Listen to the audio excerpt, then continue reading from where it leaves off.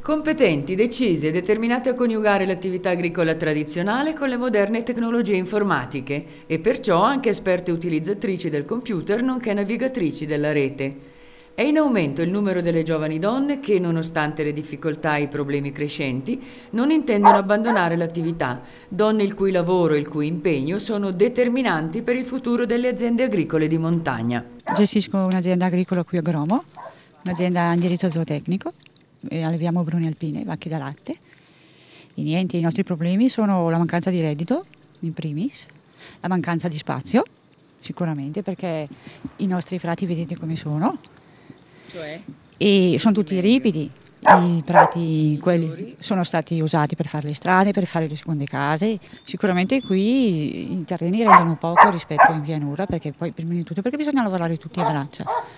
I mezzi meccanici ci sono, però non sono utilizzabili, perché i terreni così ripidi giustamente non si possono usare. Quindi facciamo tanto lavoro manuale, serve tanta manodopera e la manodopera costa. Mi diceva che la carne non è richiesta. Assolutamente dalle nostre macellerie no, perché importano tutto dall'estero. Se riusciamo a trovare qualche privato, vendiamo la manzetta, il vitello così. Però nessuno, nessun macellaio che ritira la nostra carne. La nostra carne va all'Inalca, a Lodi, all'ospedaleto lodigiano, un macello grandissimo. Perché sono i grossi che fanno il mercato, non siamo noi piccoli. Lei è una delle allevatrici giovani che si avvalgono delle moderne tecnologie informatiche. Sì, io ho il computer dal 2000, grazie a un contributo della provincia di Bergamo. Ho fatto anche il corso base perché non, non avevo nessuna nozione e lo trovo utile perché? Perché navigando in internet posso consultare i listini prezzi, le novità, le normative, il sito della Regione Lombardia.